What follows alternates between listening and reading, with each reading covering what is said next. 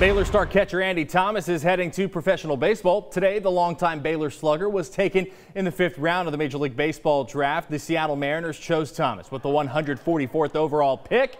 Seattle only has one catcher in its top 30 prospects, meaning there is nothing but room for Thomas to move on up toward the big leagues.